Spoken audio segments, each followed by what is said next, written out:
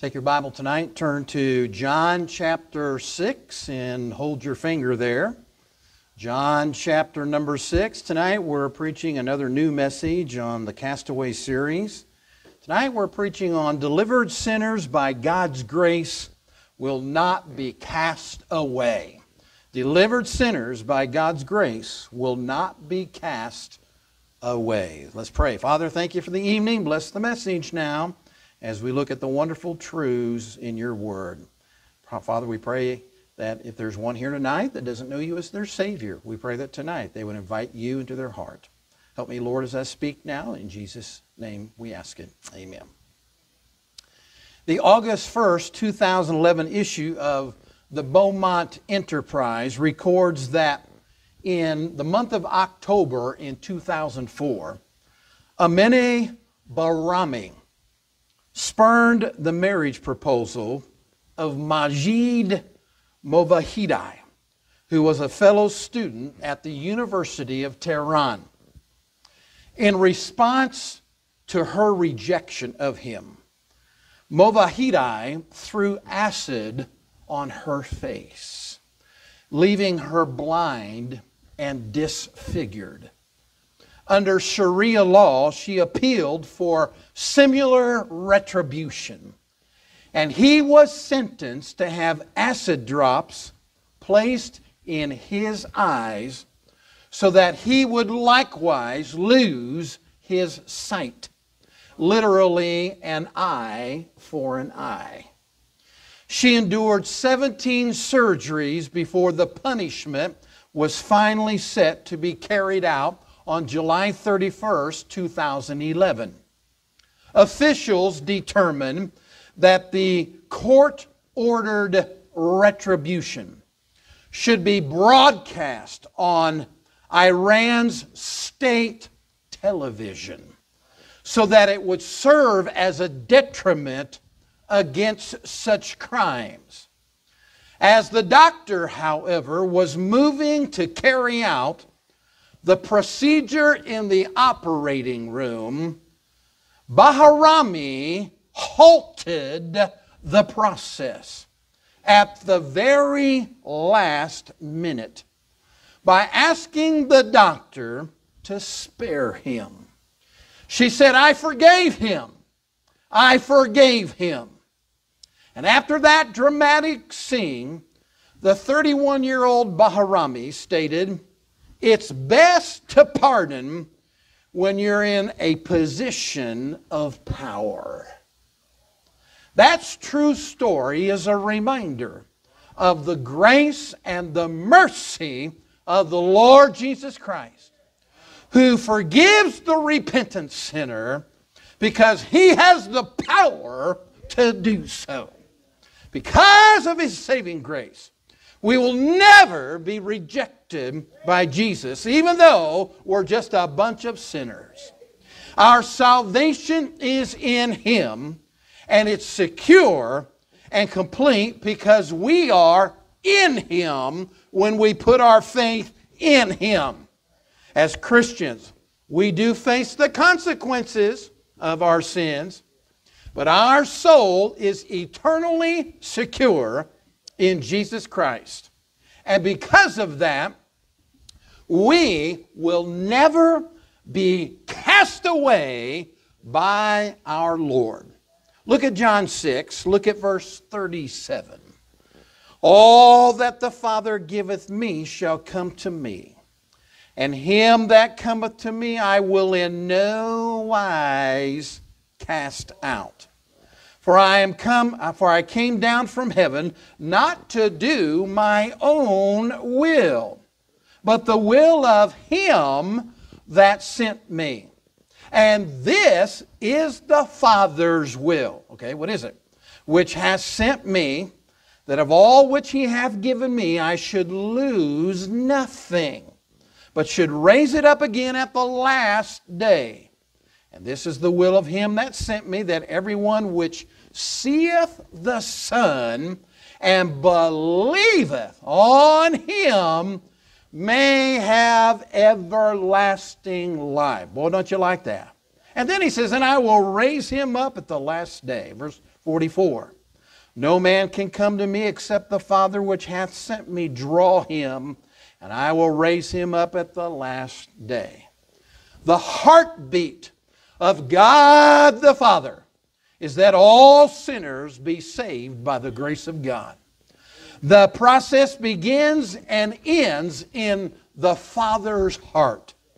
God is reaching out and drawing all men and women to Himself, beloved. But unfortunately, not all sinners will draw near to Him and be saved. Because sinners do have a choice to accept Jesus or to reject Jesus Christ. Multitudes reject God's offer of salvation and His saving grace to their own demise for eternity. They have a choice, but they reject Him. Understand that God is not responsible for man's damnation. Men and women are responsible for their eternal destiny by the choice that they make about the Lord Jesus Christ. That's the factor. If we were robots with no choice at all, what would be the purpose of Christ's ministry and the crucifixion? That does not make any sense at all, but what's unbelievable is there's a lot of people that believe that. God's choice to save man took place before the world was ever created. See, God chose a plan of salvation, which He accomplished in His Son, the Lord Jesus Christ. That's what He chose.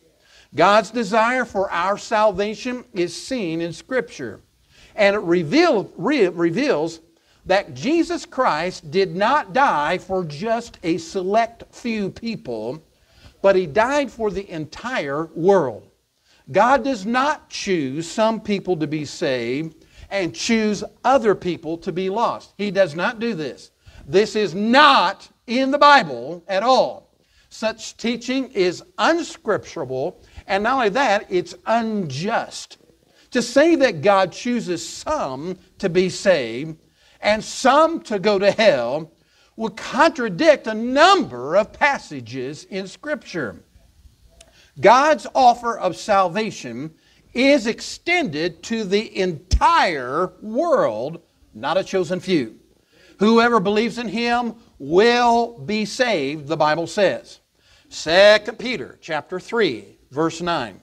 The Lord is not slack concerning his promise, as some men count slackness, but is long suffering to usward. Oh, thank God for that not willing that any should perish, but that all should come to repentance. That's the heartbeat of God.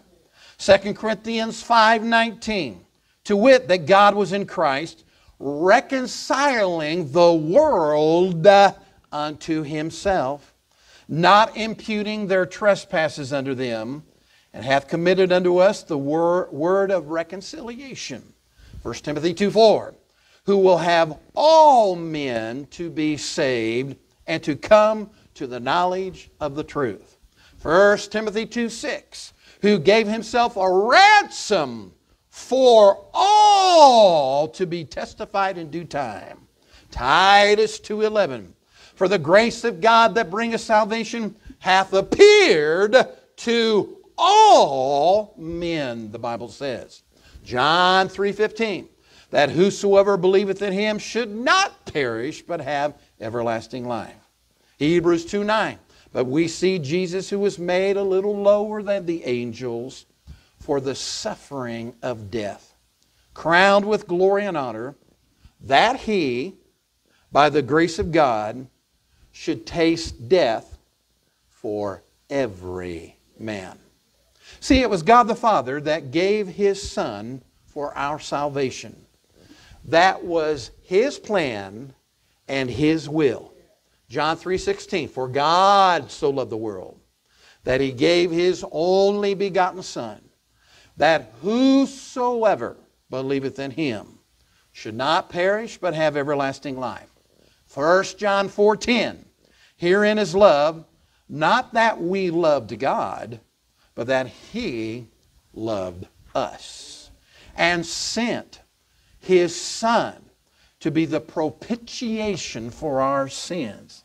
That word propitiation has the idea of a, an atoning sacrifice for our sin. Jesus spoke of doing God the Father's will, which was the redemption of mankind, of the human race. John 4 34. Jesus said unto them, My meat is to do the will of him that sent me and to finish his work. God has put in our conscience the awareness of him, of his law, and of right and wrong that we might search him out and be saved because of our own sinfulness. Romans 2:15 which show the work of the law written in their hearts their conscience also bearing witness and their thoughts the mean while accusing or else excusing one another God uses his creation to testify him, of himself and to reveal himself to men so that mankind will trust in him. In other words, who made all this stuff? This stuff is perfect. This just didn't blob together by accident. Anybody with a brain can figure that out. And that's when men begin to have that curiosity of seeking out the Lord. Creation leaves men without an excuse for not believing in Jesus Christ. That excuse is removed. Romans 1, verse 20. For the invisible things of Him from the creation of the world are clearly seen, being understood by the things that are made, even His eternal power and Godhead, so that they are without excuse. God uses His blessings to lead a person to a point of repentance in his life. Romans 2 4.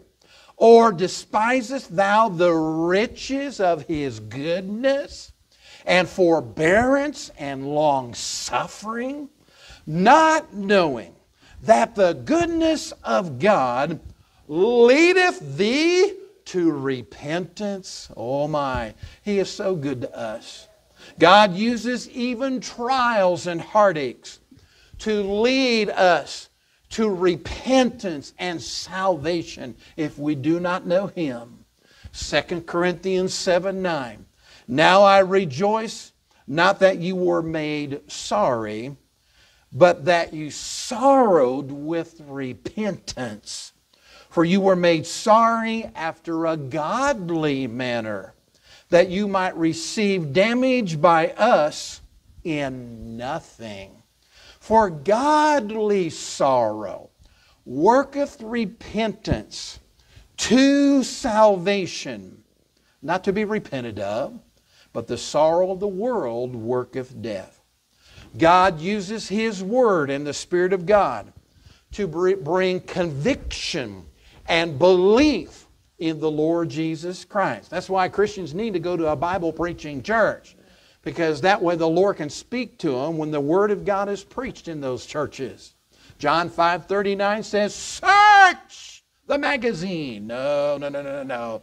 It says, Search the scriptures, for in them you think you have eternal life, and they are they which testify of me. You want to know God? Get in His book. Uh, 1 Peter 2, 1.23 Being born again, not of corruptible seed, but of incorruptible, by the word of God, which liveth and abideth forever. John 16, 7. Nevertheless, I tell you the truth, it is expedient, expedient for you that I go away. For if I go not away, the Comforter will not come unto you. But if I depart, I will send him unto you. And when he is come, He will reprove the world of sin and of righteousness and of judgment.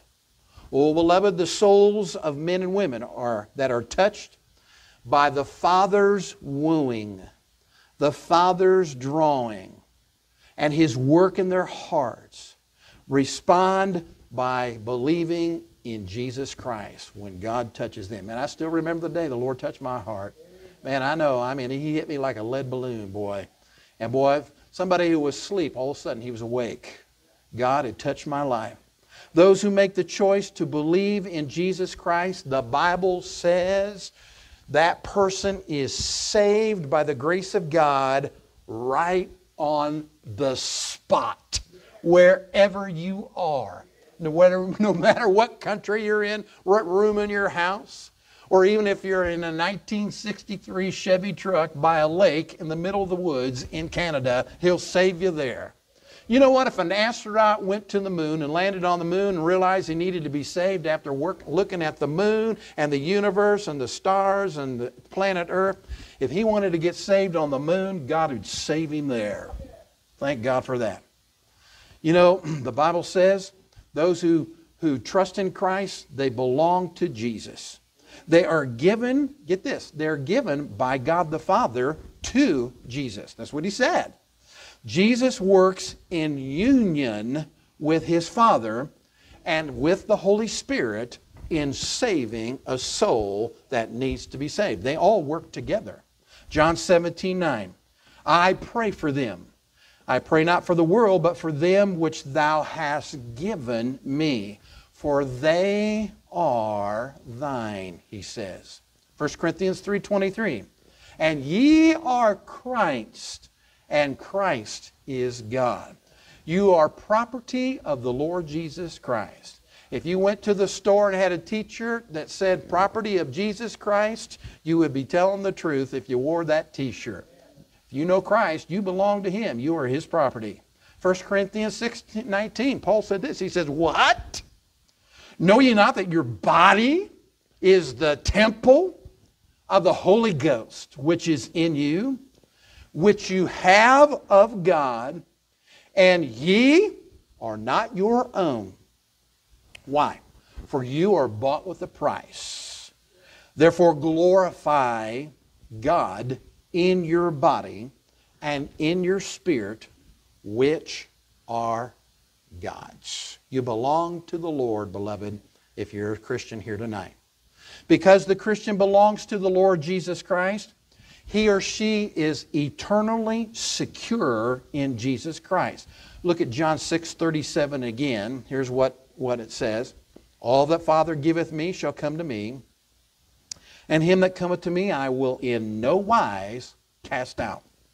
Notice that phrase, I will in no wise cast out. In the Greek language, a double negative is used for greater emphasis of what he just said here. God says, No, in no way, Jose, I'll just put that in there, okay, will I cast out. No, in no way will I cast out. That's what it's saying in the Greek. The security of our salvation, I knew you all liked that Jose there, okay? The security of our salvation is in the hands of the Lord Jesus Christ. John chapter 10, verse 28. And I give unto them eternal life. Notice he, we didn't earn it, he gave it to us. I give them eternal life, and they shall never perish. Neither shall any man pluck them out of my hand. My Father, which gave them me, is greater than all and no man is able to pluck them out of my Father's hand. 2 Timothy 1:12 For the which cause I also suffer these things nevertheless I am not ashamed for I know whom I have believed and am persuaded that he is able does that sound familiar to keep that which I have committed unto him against that day. We sang that in the song tonight in the chorus. Amen. Well, this is where it comes from. 1 Peter 1 5, Peter got in on this. Oh, yeah. He said, Who are kept by the power of God through faith unto salvation, ready to be re- revealed in the last time. If you have trusted Jesus Christ as your Savior, you are kept by the power of God. Now, what does that mean? That word kept is derived from the word phroureo, of which means this it means to guard or protect by military guard. You guess who's guarding us? The captain of our salvation. Amen. Uh, it means to keep by watching. Our lives are garrisoned by God, and He stands as the sentinel over us all of our days. Our salvation is under God's constant care and protection. I don't know about you, but that helps me sleep at night. Our salvation is through our faith in Jesus Christ. It's not by any works or deeds that we do. The Lord saves us by our faith in Him, and He is the one, He is the one that keeps us saved. Good deeds or works do not maintain a person's salvation because they were not a factor in the first place. If deeds maintain salvation, how would you know if your deeds were good enough to maintain it? You would not. We are saved by God's grace and kept by God's grace. Salvation is the work, not of you. It is the work of the Lord Jesus Christ. Our salvation is kept or guarded by our Savior. Some mistakenly believe they can live any way they wish because they have been saved by grace. The, there are folks that say, I'm under grace, so I can live any way that I want. God will forgive me later if I do something wrong. Now, understand this if you have been saved, you will not want to just live any old way. Oh, you're still going to struggle with that sin nature, but you're not going to want to do anything wrong. You're not going to have that desire. But there's going to have days you're going to do some stupid stuff. Amen. How many are in the stupid club? Raise your hand. We've all done that. You, the desire of the Christian, that desire is this that person wants to please and to honor the Lord with his life and not to live wickedly, not live sinfully.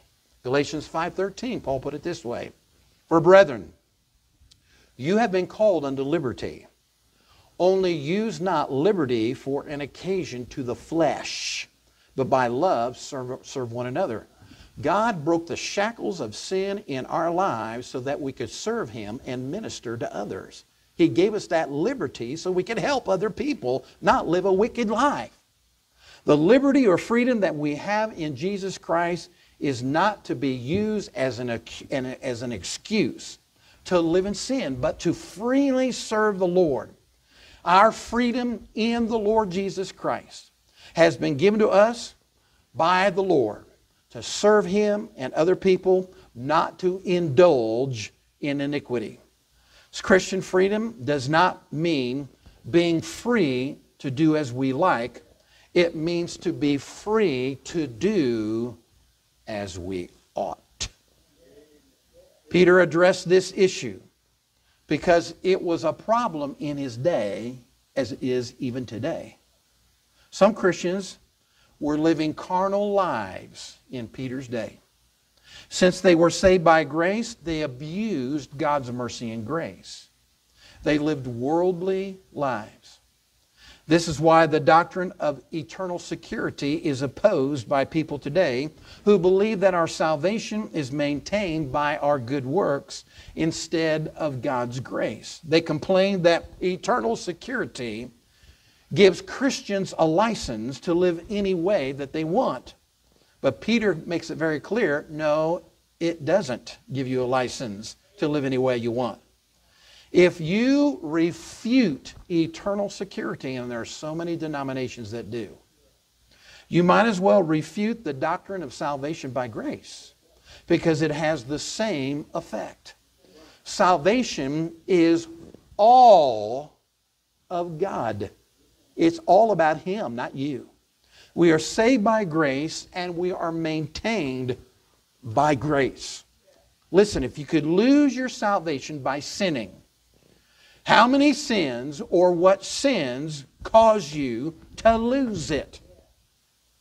Realize any answer you give makes you the judge and not the Lord Jesus Christ.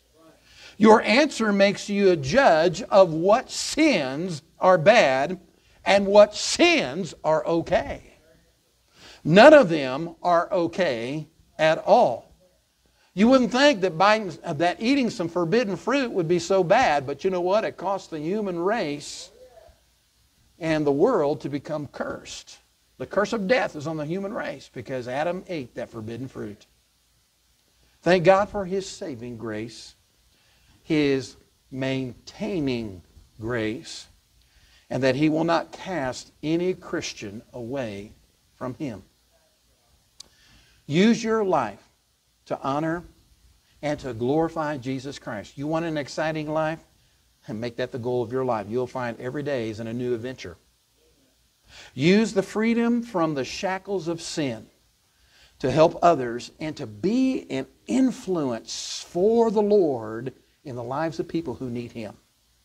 You know, the August 7th, 2007 issue of the Houston Chronicle stated that if you were to ask any baby boomer to convey the defining moment of their generation.